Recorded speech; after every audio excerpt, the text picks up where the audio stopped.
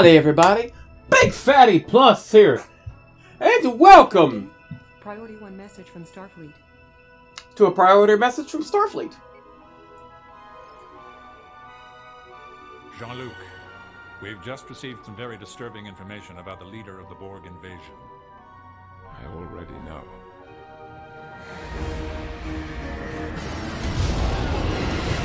And so did the Klingons, apparently.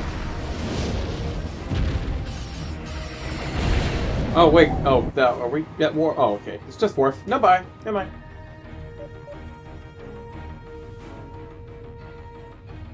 Toral, call off this Urmang. An honorless dog like you will never rule the Empire. That is where you are wrong, Worf. Now that I possess the sword of Kahless, the Klingon throne is mine. I will see to it that day never comes. And you know Worf ain't. eh, Worf's gonna make sure about that. Oh, but we have Romulans now. Oh, great. Just what we need. Admiral Sela, sensors confirm. It is the Omega particle. Of course it's her. Prepare the containment field and hail the nearest Borg vessel. Tell them we wish to negotiate a deal. Of course you do.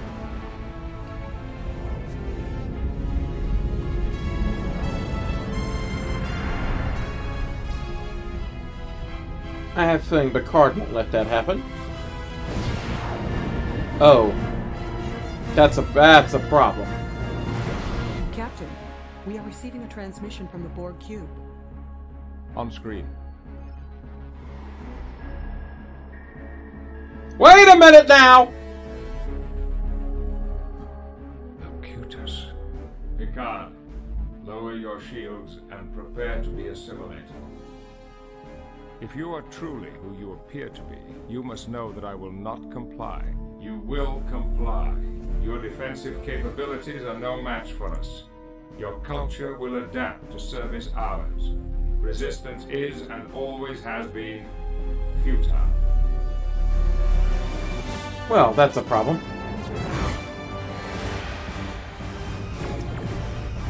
Always with the goddamn Borg. Oh, ooh. Yeah, this is, uh, don't you just love how the cinematic is actually showing you how some of these ships work? That's actually an ability the Akiras have, I think, in the game. Initiate maneuver. Warp Theta 1.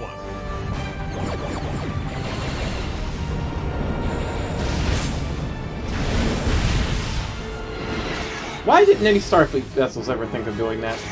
They were small enough to do so. And here comes the Klingons!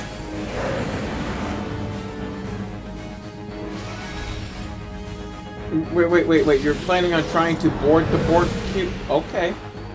I don't see how that's smart. Whatever. Uh oh. Lock all weapons on that vessel. Fire.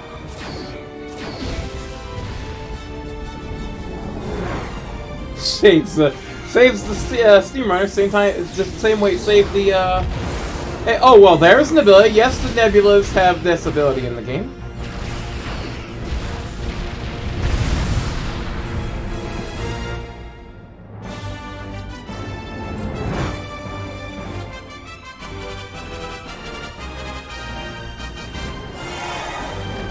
Yes, welcome to the Big Man Plays! Several minutes into the game, Star Trek Armada!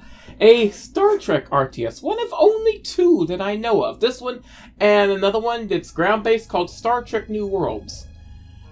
Now, you may notice there's a slight issue here. First of all, I'm having to play this on a windowed mode. Uh, with, with LBS recording the window because, uh, here, let me see if I can fix, uh, this. There we go. Yes, um, because the game constantly changes the resolution, uh, window, you know, any type of recording mode other than display won't work. I only display will work when recording this. Second of all, because of how old the game is and various other issues, the, the game's gonna look like this. In fact, me getting this game to run took five hours two patches, and a mod, and experimentation with said mod, to even get it to run this. Now you're probably thinking, oh, is the gameplay going to be all discombobulated? No, no, the gameplay is going to be fine. I can assure you, the gameplay itself is fine. I've tested it. But uh, yes, is no game here. I used to have this animated thing where you would scroll in certain parts of the thing, it would actually uh, highlight them. See, like, if you go on multiplayer, it does that. If you go down to quit, the wormhole opens. Go to options, the uh, shipyard starts moving. But we're going to single player, because we've already wasted enough goddamn time with this. Uh, we have four, well, actually, technically five campaigns. Very short, they're only like four missions each, but there are five campaigns. The fifth one is, is I think, unlocked if you beat the other four. I don't know, I haven't really done it. I've never beaten this game. But yes, we have, of course, you you know you have to beat the you have to beat the Federation one first. But you have, of course, the Borg, Empress Sela and the Romulans, Worf and the Klingons, and Picard and, uh, and the Federation. We're going to start there. Now, this I've or I played through this mission once just to test the in-game cutscenes to make sure everything else worked, and they do. So we're going to do the first mission here, Premonitions, which I have to click and click. There we go. And of course, you're going to see a lot of black and all that.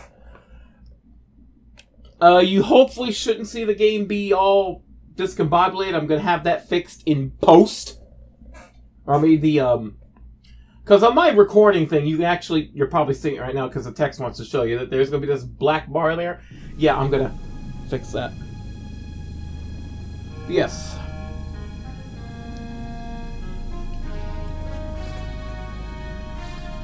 By the way, the visuals never looked this good in the original. Two patches and a mod will do that.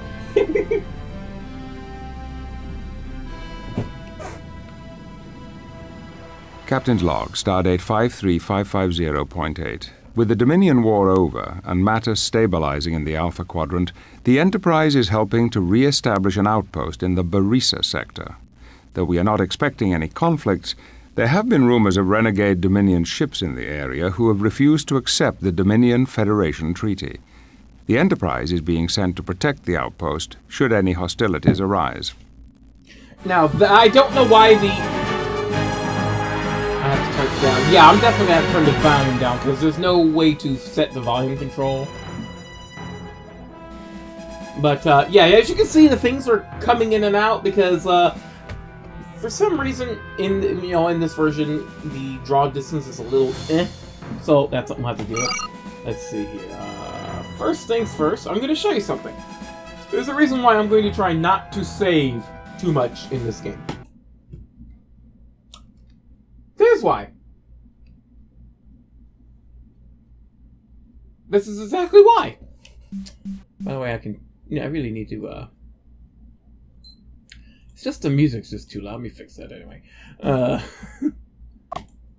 but uh, let's see here. Yeah, it's annoying.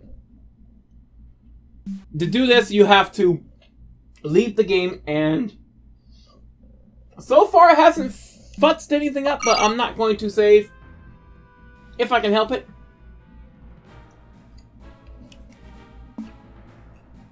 So, now that that's fixed, uh, hopefully the sound is better now. So anyway, just, Prepare just like, the docking bays. Just like any other RTS, you have to build units and whatnot. So we'll start with by building a star base. Basically like your home base of whatever. So we'll build that that. is a logical request. Now, if you notice, there's a cinematic view going on here Station that, construction commencing.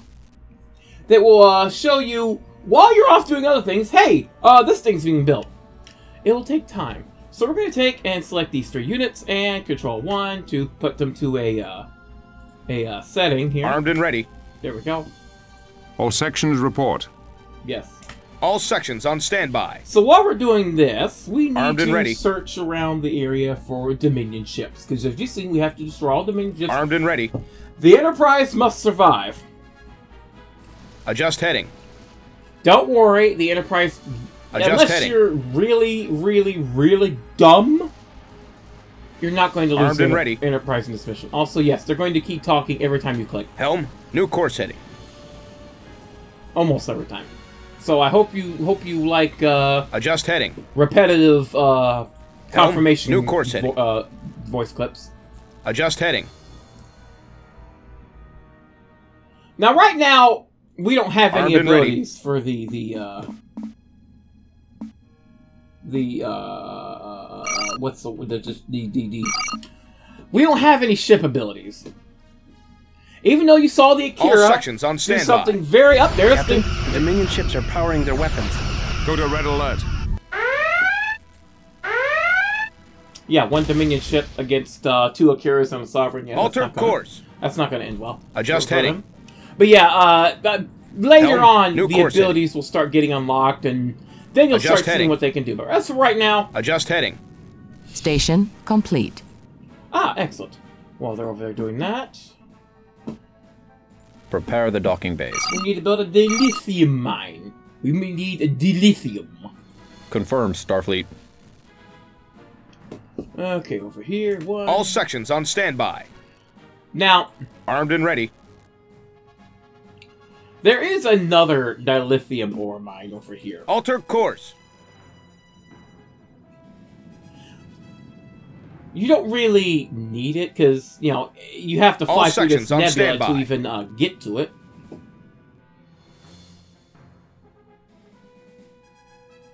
Yeah, it's around here somewhere. Yep, right there. Helm, new You course don't heading. you don't need it at all. You really don't. But Helm, new course heading. because I'm a greedy sucker, Starship construction commencing. there's our cue right there that tells us uh where we're building. Status report. When that when that's done, I'll send it over to build another dilithium. Station Captain, complete. sensors are picking up Dominion attack ships heading this way.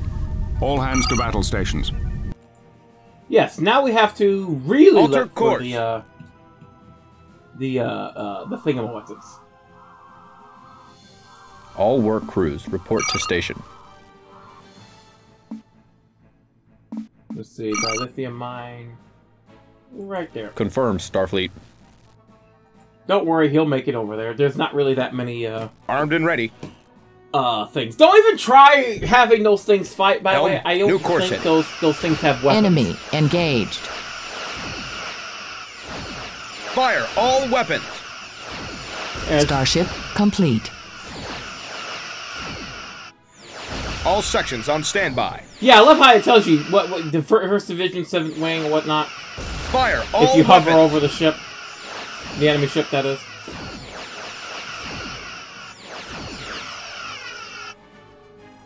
I don't think the little guy's gonna make it over there. You know, just how Adjust heading. hilariousness I'm gonna follow him. Just because. I I know I'm artificially lengthening the episode. Because you don't need the extra dilithium. You can't build anything but these and dilithium haulers. And so there's no real point in trying to uh, build it. But I'm doing it just because I'm being a schmuck. Shut up. You don't need to defend your base in this episode either. It's, Armed and ready. No, there's no reason. The, the the at least as far as I remember, the last true time I played this was several, several, several, several, several years ago. um, All sections on standby. They, it's uh, they never really came down there. They more or less the Jem'Hadar fighters kind of just wander around in one patrol area and kind of just sit around and wait. Yeah, see, as you go through that nebula, you start losing shields, you start taking minor damage. All work crews report to station. Unable to build. Cannot build a specified low. Why? Oh, because it's like right there. Okay, so that would be Starfleet. There we go. Status report. Armed and ready. Now let's go find those other Jem'Hadar fighters. Those those attack ships. You can't really call them fighters because they're bigger than Enemy engaged. Oh hey, how you Fire doing? full burst. You a special kind Armed of and ready. stupid, ain't you? Trying to fight in a nebula. Didn't you learn anything from Khan? Adjust No, heading. of course not. Wow, these ones actually follow me. That's interesting. All sections on standby. Helm, new course heading. Captain, the area is secure from Dominion ships, but I am reading some strange temporal distortions in the Well, area. that's a problem. On screen. And here's the cutscenes.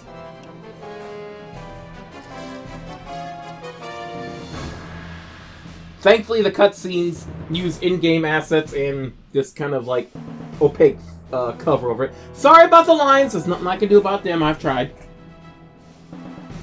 But yes, Federation ship is under attack by Borg. Why not? That ship. I've seen it before. Oh, you have? We are receiving a Priority 1 distress call. On screen. This is Captain Thaddeus Deming of the USS Premonition. We are under attack by the Borg. To any ships in the area, this is the USS Premonition. Sir, we lost the transmission. Data, Yes. locate the origin of that transmission and lay in a course. Yes, Data is still around. Enemy engaged.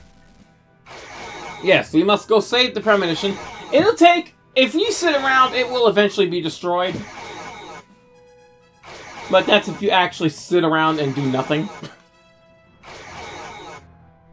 but because I have three ships coming at it, these these Borg ships won't last very long. If you can just uh, get there, that'd be really great. There, uh, Fire, full burst. Oh, there, there, we're in range.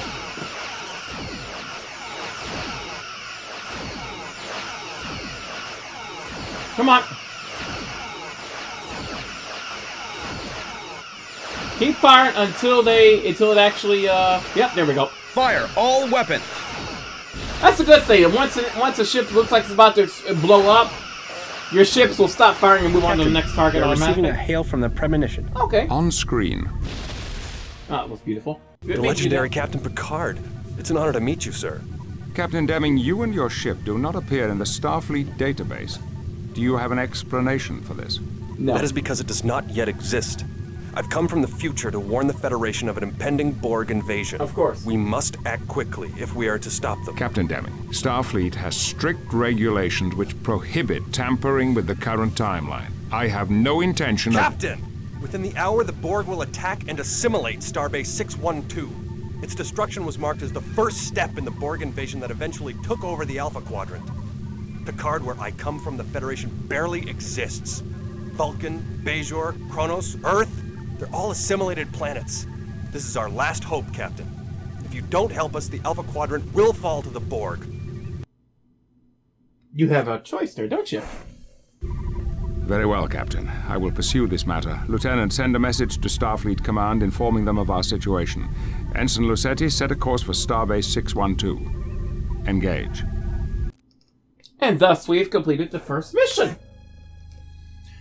And started off a whole kit and caboodle of Borg shenanigans. Because the Borg, you know, they, they, they always want to sim- assimilate everything. But, will we be able to defeat the Borg? And is the next mission going to go any better for me? Find out next time on the Big Man Plays Star Trek Armada. Till next Big Fatty Plus, sayonara. When the Borg are involved, it's never ever good. It- you know, it's it's never good. It's, it's never good. It's like it's like when time travel's involved in, in, in Command and Conquer. You know it's not going to be good. It's and this is time travel too, so it's doubly bad.